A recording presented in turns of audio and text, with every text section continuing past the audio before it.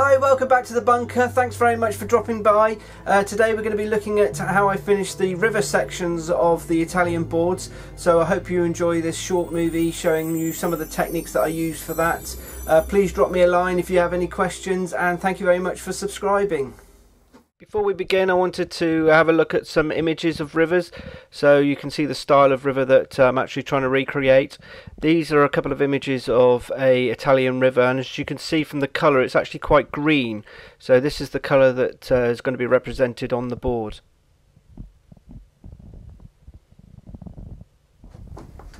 Okay, this is the overview of the board as it sits now. Uh, with this movie we're going to concentrate on finishing the river. Uh, these boards can actually be switched around so the river can be in the middle. Um, the river's quite different than my normal rivers. Normally I would carve the river straight into the board uh, and then pour resin in them. Because this river is quite a wide uh, and fairly deep river, it would be unpractical to pour that amount of resin uh, just onto a plywood uh, board because you may end up getting twisting and uh, misshaping. So going to go for more of a painted finish effect on this uh, river, which is quite different. And I thought you might like to follow the progress of uh, how that works. The bridge uh, is going to be is removable, so I'm going to remove the bridge and then um, start finishing uh, uh, the river. At the moment it's just got a base coat um, of paint that is just splashed over from the rock work. We're actually going to cover and coat this river. Uh, the river is actually um, a, has a plywood base so this is just the plywood that you can see coming through um, through the, the sort of paint that's uh, splashed off off of the rocks.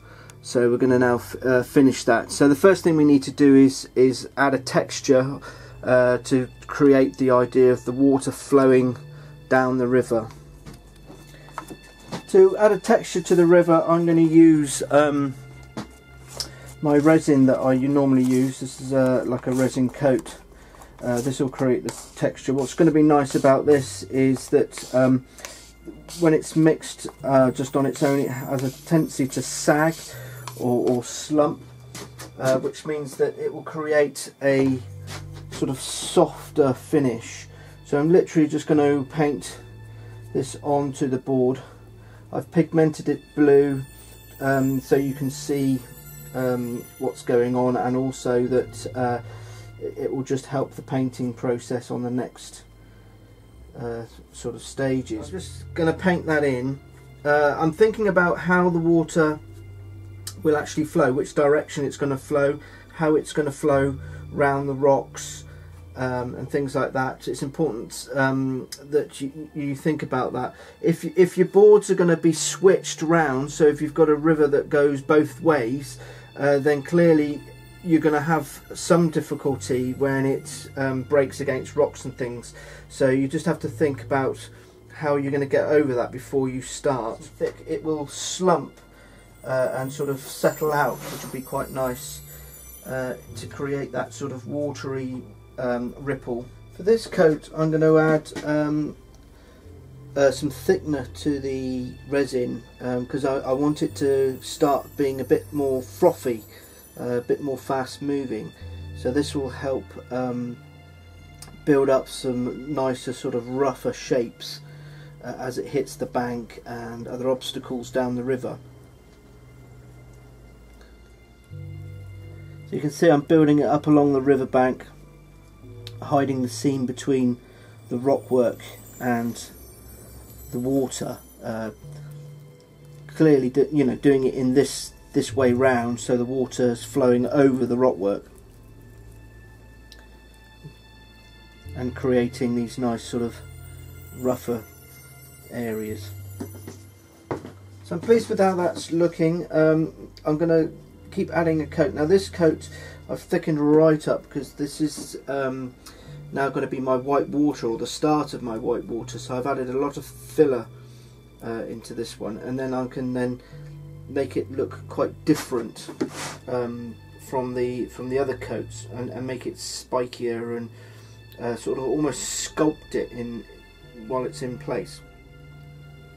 This is quite a fast moving um, river. If you wanted uh, a slower river, then you wouldn't obviously put so much white water in. Okay, now the resin is set, uh, it's time to start um, adding the colour. Now at the moment there's too much contrast between the, the blue and the white uh, because it's just an undertone. So we need to um, blend all that into almost the same colour but using subtle shades. So I've mixed up um, the three basic colours are, a, a, dark tone, mid-tone and a light tone.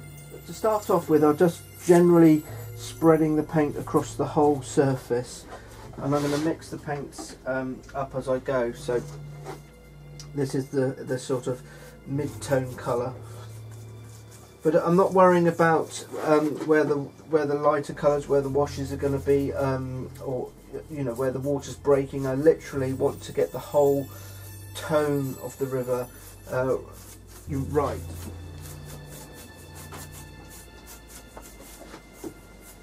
Okay, one of the interesting points um, that I sort of thought about when I mixed these colours is I wanted the colour um, to sort of go with the environment. Now the easiest way to do that is to actually use the same colour palette that I used for uh, the sand in each one of my colours. This sort of cross-pollinates the sort of colours uh, across the media and helps the whole thing look natural as if it's all toned with the same colours. So there's a lot of sand um, colour within this sort of pale, um, well e each one of the the, the sort of river colours that I've mixed what up. What I do now is I, I want to darken up and given uh, I want to give the impression that there's there's more rock work and things going on underneath the surface.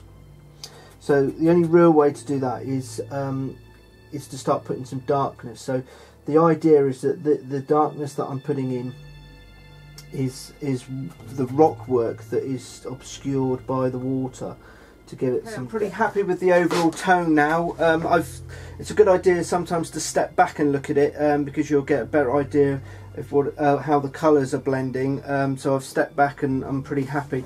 Uh, I need to now start creating depth. Um, now I've got the blend, so I'm going to dry um, this off or help help speed this up with a uh, with a hot air gun. Dry this off uh, before I start applying um, some washes uh, to see if I can get some more depth um, out of out of the painted surface. Okay, that's the um, the first coat dry. Uh, so now I'm going to put on a thin wash of my um, my mid-tone colour. I'm going to do that over the whole whole board. Okay, I've dried off the um, the uh, wash, the first wash that I've just put on. So now I want to bring out some of that texture. So I'm now going to, I've mixed up a, a, a white with some of the other colours um, that I've got. So I'm still using the same um, tonal uh, sort of colours. And now I'm just going to uh, start dry brushing some of the that texture back in. Now the tricky thing now is to is to dry brush it in and not show the the brush strokes. So that's that's the tricky thing. That's why I'm using um, quite a, a, a, big brush. I prefer to use a big brush um, to do these big dry brushes. And you'll see that I'm changing direction and I'm only just touching uh, the board. Okay, I'm now um, going to spray in using some of my darker tone. I'm use the airbrush to pick out some of the um, some of the sort of shadowy areas that I want uh, to pick out. Uh, the airbrush is really good for this. It will also really subtly blend um, any of that rock work that I put in on the previous painting uh, exercise, uh, and I can just start to change that colour throughout. Using quite broad, broad strokes and using some distance just so I can subtly um, change that overall. The other thing I'm um, doing now is I'm literally I'm going round um, with a small brush and just picking out some details. I'm trying to get um, that impression that the water is flowing and that there's undercurrents and you know swirls of water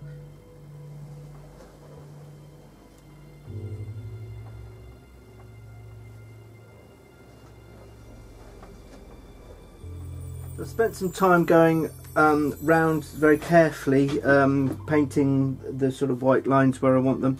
Now uh, I'm going to just go in with some white and literally touch off the bits that I want to be really really rough. So I've um, I've finished all the painting uh, so I'm really happy with that and gone around and touched up uh, the highlights where I wanted them.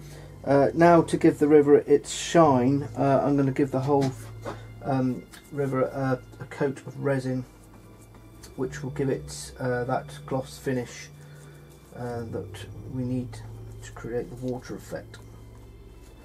You can see the, the, the colour difference by adding the varnish or resin is quite quite a lot. It will darken and sharpen up uh, all the all the colours underneath.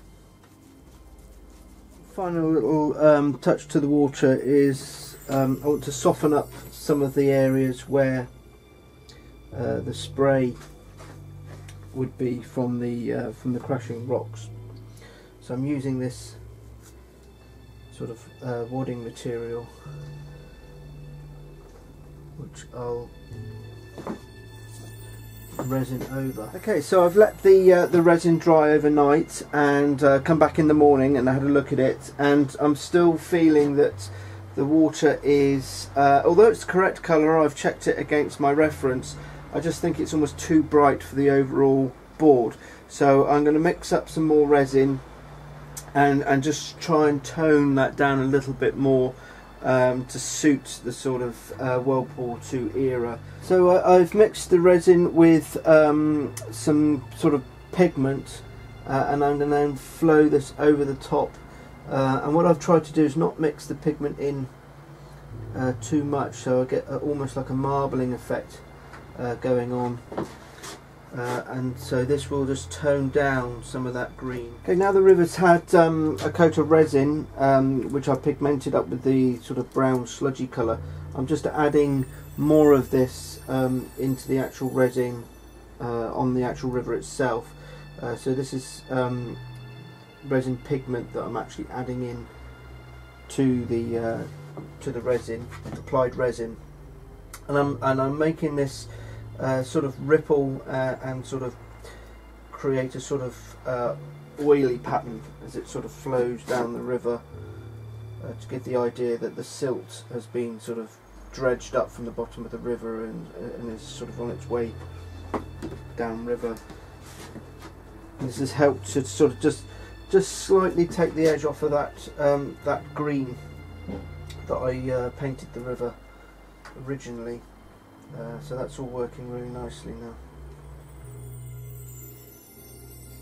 Okay, I finished the river and uh, this is what it looks like in its middle position. So we're just going to have a close look at um, what the river looks like now it's been finished. Uh, just going to run the camera down so you can have a better, better view of what that looks like.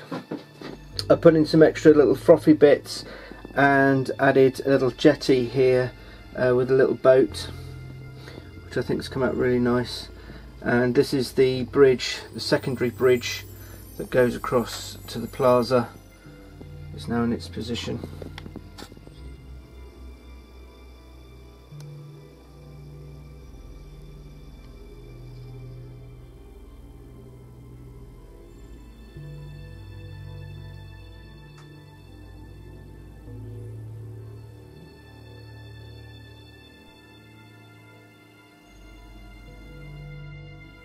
Hi, thanks very much again for watching. Thanks very much also for subscribing. I hope uh, you got some ideas um, to try at home yourselves. If you've got any questions, do drop me a line. Uh, thanks very much, and I'll catch you next time.